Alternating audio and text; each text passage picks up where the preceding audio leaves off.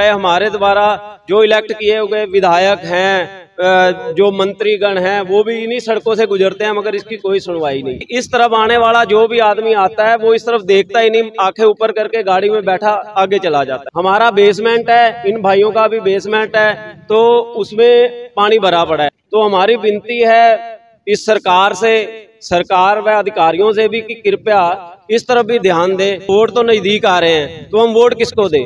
किसको दे? वोट जो सड़कें बनाएगा, जो यहाँ की सुध लेगा, वही तो वोट पाएगा। अब वोट भी हम भी बस वही बात है कि आते हैं, एक बस बता देते जी, ये होगा होगा, ऐसे होगा, और वोट लेके चले जाते हैं। हमारी यहाँ पे शॉप के अंदर भी बहुत पानी, जैसे गाड़ी भाव से निकलती है, बहुत बड़े बड़े खड्डे हो रखे हैं जी, बहुत ज़्यादा पानी की दिक्कत का सामना करना पड़ रहा है जी, बहुत सारा हमारा फर्नीचर वगैरह खराब हो चुका है जी, कोई सुनवाई नहीं है जी, बहुत बड़े बड़े खड्डे हैं तीन तीन चार चार फुट के जी, बहुत ज़्यादा दिक्कत हो रही है जी, हर दिन पर दिन, रोज डेली ही एक्सीडेंट हो रहे हैं जी यहाँ पे।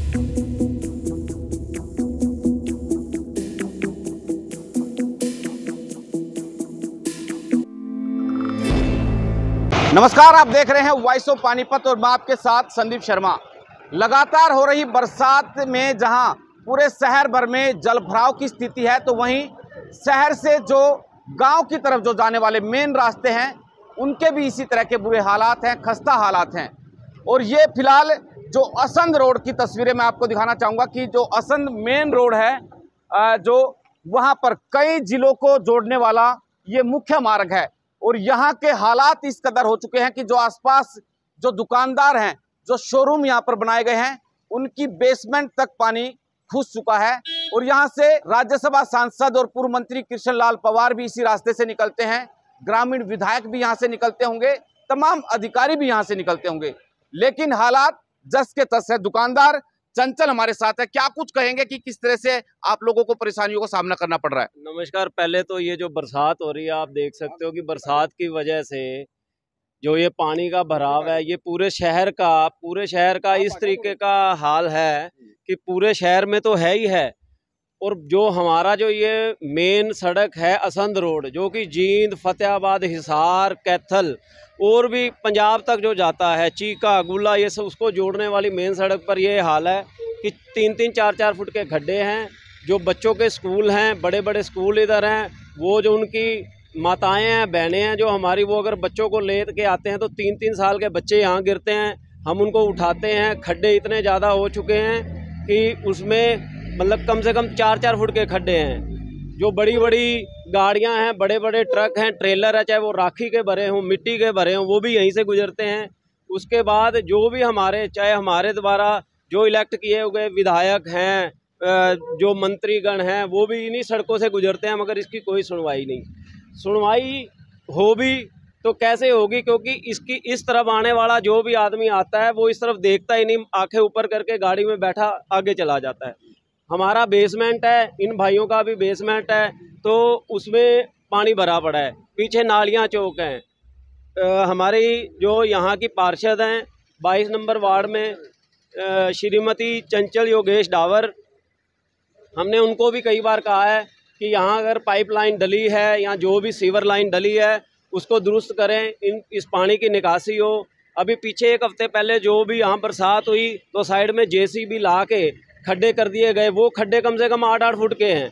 और उन खड्डों में कोई ना कोई हर रोज़ गिरता है, फिर हमें उनको उठाना पड़ता है। हर रोज़ यहाँ पे चोट लगती है। कल एक महिला बेहोश हो गई, बेसुध हो गई, उसको फिर हमें एमरजेंसी में जाके दाखिल करवाना पड़ा।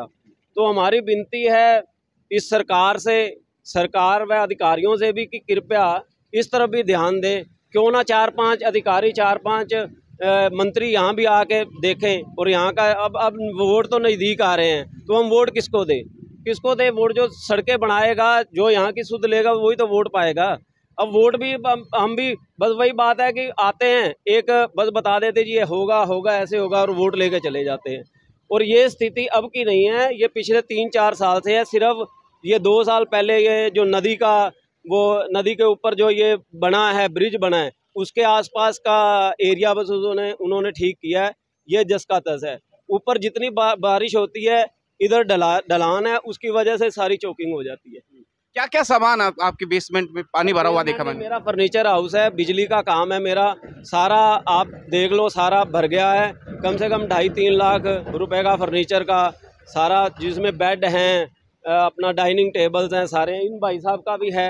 बाकी की दुकानें हैं ये ये बेचारे ये ऑटो वगैरह पे सामान ढोते हैं, हर रोज इनका ऑटो गिरता है। तो देखिए कि इस तरह से जो इनकी बेसमेंट के अंदर पानी घुसा हुआ है और बेसमेंट से पानी टुल्लू पंप के द्वारा निकाला जा रहा है, कुछ और दुकानदार है आप लोगों को, तमाम लोगों को परेशानियाँ होती है। तो क्या कुछ दिक्कतें हैं? और भी बहुत सारे लोग चोटिल भी होते होंगे, गिरते भी होंगे हर रोज। जी सर, नमस्कार जी वॉइस ऑफ़ पानीपत की तरफ़ से हमें बहुत बहुत महत्वपूर्ण है जी। इसलिए हमारी यहाँ पे शॉप के अंदर भी बहुत पानी, जैसे गाड़ी भाव से निकलती हैं, बहुत बड़े बड़े खड्डे हो रखे हैं जी। बहुत ज़्यादा पानी की दिक्कत का सामना करना पड़ रहा है जी। बहुत सारा हमारा फर्नीचर वगैरह ख़राब हो चुका है जी। ऑफ़िस टेबलें वगैरह, हमारा बहुत बेड वगैरह, सब चीज़ के अंदर बहुत ज़्यादा ही पानी की समस्या है यहाँ पे। यहाँ पे कोई निकासी नहीं है जी। यहाँ पे कोई सुनवाई नहीं है जी। बहुत बड़े बड़े खड्डे हैं तीन तीन चार चार फुट के जी। बहुत ज़्यादा दिक्कत हो रही है जी यहाँ। दिन पर दिन रोज डेली ही एक्सीडेंट हो रहे हैं जी यहाँ पे। कोई भी किसी भी विधायक या कोई भी एमएलए एमपी कोई भी यहाँ पे कोई सुधार नहीं हो रहा जी। कोई एमसी देखने तक भी नहीं आता।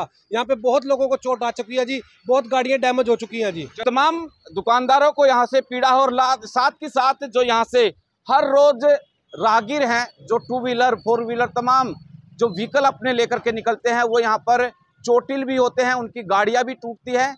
और साफ़ तौर से दुकानदारों का ये कहना है कि भाई, चुनाव के वक्त वोट मांगने, यहाँ पर लोग ज़रूर आते हैं, नेता ज़रूर आते हैं, लेकिन वोट मांगने के बाद, जीतने के बाद कोई इनकी तरफ़ सूद लेने वाला नहीं है। आप लोगों से अपील रहेगी कि इस वीडियो को शेयर करें। नमस्कार।